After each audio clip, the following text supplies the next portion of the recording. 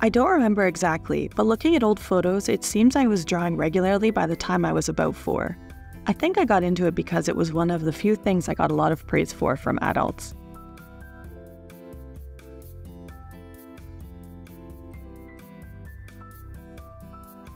In middle school, I was really into the game Mabinogi. Korean online games were huge back then, and my doodles had a bit of that style. I was mostly just drawing stylized characters based on instinct. Later, I entered university and took classes from teachers like Krenz and Dafe, which helped me learn in a more structured way. Their lessons had a big influence on both my techniques and the content I create.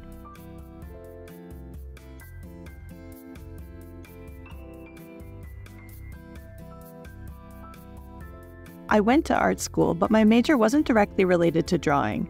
Still, what I learned there helped me approach my art from different perspectives, for example, mind mapping, which is a common tool in design courses, has been really useful for coming up with ideas and designing characters.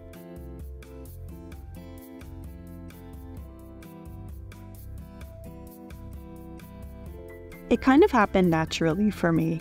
I've always loved drawing since I was a kid, and one of my childhood dreams was to become a traditional oil painter. But I never specifically decided to become an illustrator or work in game art. I just kept drawing and focusing on improving my work. Over time, I started getting inquiries from game companies and studios asking if I'd be interested in taking on some freelance art projects. A lot of these jobs involved creating illustrations for established characters, items, and backgrounds to be used in the game.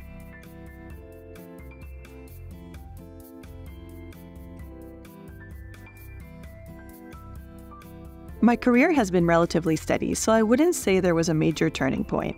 Instead, it's been more about small, consistent efforts building up over time. However, meeting friends and collaborating with them on creative projects was a significant part of my journey. I think these friendships have been an invisible turning point for me. Drawing can be a very solitary process, and when you hit a wall, it's easy to get stuck, but exchanging ideas with friends can help you identify and solve problems more quickly. If I had to name a turning point, it would be the good fortune of finding friends who I could truly connect with from a creative standpoint.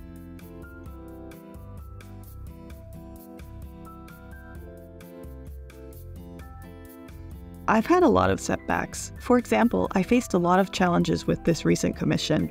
Not only was I unfamiliar with the subject matter, but this was my first time I had to record the entire process.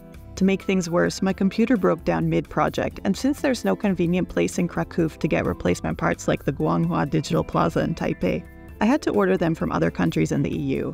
For this job, I had to use a backup computer to keep creating new rough sketches for the client as we went back and forth about the scale of the composition and the theme, all while trying to make sure I met the deadline.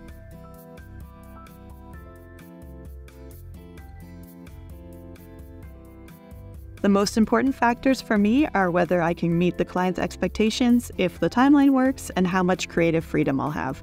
Good pay is always a plus, but it's more important that there's room for discussion with the client. They'll always have specific requests, and it's my job to meet those within the deadline. But if every single detail is set in stone, from the composition down to the smallest elements, it can make the process frustrating for both sides. That's why I think it's important to have room for dialogue and collaboration on the overall vision. I'm also really interested in working more on indie game projects since I'd like to be more involved in game development.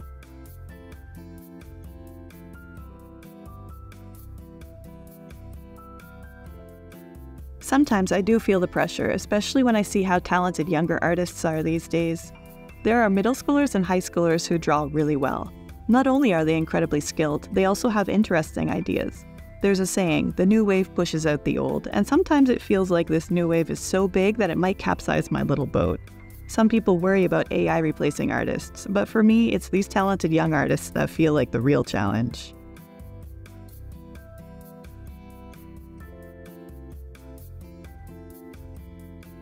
Sleeping and playing video games are my go to ways to relax. I also have a bit of an interest in photography and enjoy taking pictures of plants in the park. It's a great way to rest my eyes and gather reference material for future projects.